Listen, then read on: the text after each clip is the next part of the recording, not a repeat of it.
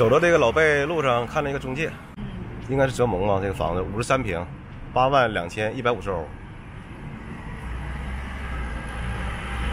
我这一百六十平，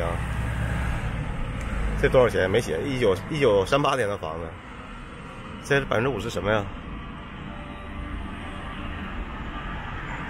不是，这都泽蒙了。泽蒙那边卖房这么多吗？这是百分之二的税吧？应该交，这九万六，九万六千九，五十一平，两百八十九平，这是独立，应该是。这是二十二万吗？应该是二十二万，也是百分之二的税啊。五十二平，三十七平，七万三。block 七十号啊，这是新贝，新贝尔盖德七十号，嗯，这这么大一个屋，三十七平的，七万三千欧。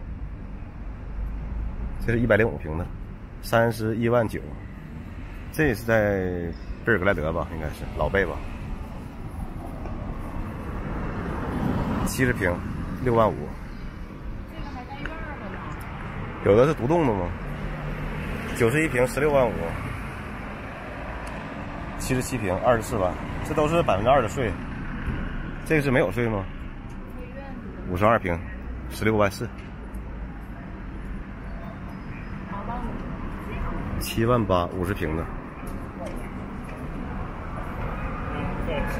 这院儿院儿应该不大吧？看着八万五。这上面都有电话，这是中介电话。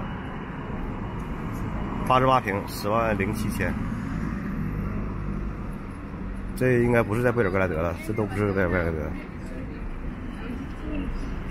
这十四万八十平，十四万。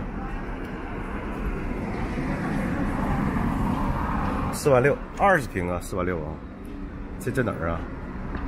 这是交一千欧的税啊！中介在这儿啊，中介。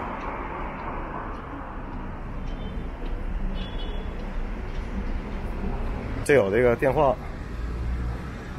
啊，这是 e email、Facebook，这是网址，可以上他们家中介看一下。这边现在卖那个电子烟挺多的。旁边是广告，电子烟，也是烟弹那种。好了，这个视频非常简单，非常简洁，正好遇到的，所以给你们拍一下这房价。啊，中介那里面我就没进去，因为这个晒语我也不会，英文我也不行，还得翻译，挺麻烦的，所以我就不拍了。好了，这个视频就拍到这儿了，我们下个视频见了，再见了。